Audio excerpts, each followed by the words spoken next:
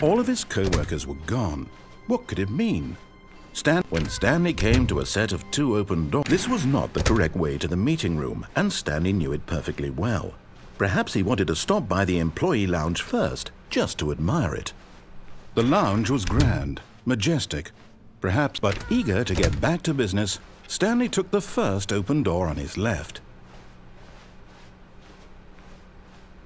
Stanley was so bad at following directions, it's incredible he wasn't fired years ago.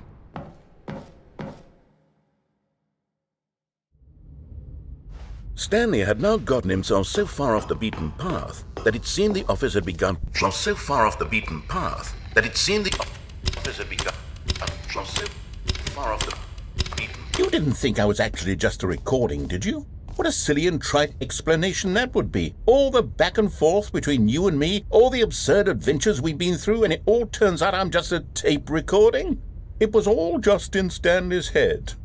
I bet that's the kind of twist you think is revelatory. I bet each and every time you watch a movie where it turns out all to be in the main character's imagination, you must absolutely bolt off the couch in pure shock at the phenomenal and intricate storytelling. It must be so simple to be you.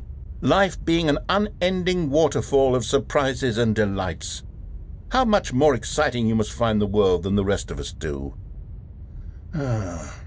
Now I've become sad. Look what you've done to me. This is all your fault.